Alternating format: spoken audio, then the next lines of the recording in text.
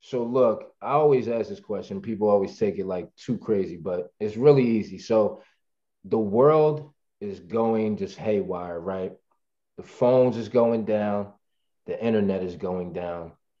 But you know, you got like uh, you find just say you find this you find this CD player and they still and there's a store in California somewhere that got some CDs left.